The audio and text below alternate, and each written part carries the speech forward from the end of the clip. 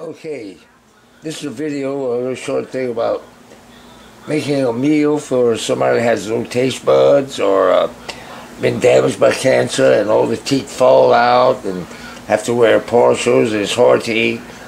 Uh, it's hard to eat steak. Well, I created a meal. What you see here is what you see here is some lady cream peas on uh, jasmine Louisiana rice. Uh, the beans have red bell peppers, uh, everything in it. Bell peppers, chow chow, topped with onion tops. And this steak that you can see that looks like a steak. It looks like a ribeye. It's a pork. Be a pork steak.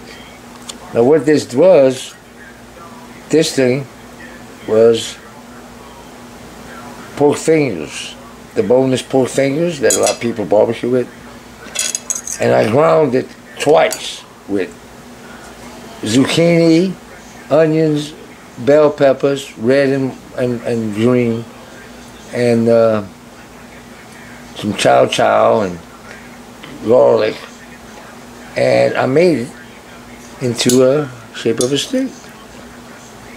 And it's firm, firm, not firm to where you can't eat. You know, I put it in the oven, 30 minutes, then I uncovered it for a few minutes, so brown. And uh, it's a steak. I'll be having more recipes later on. It looks pretty appealing to me. Well, we're going to try. Thank you for watching.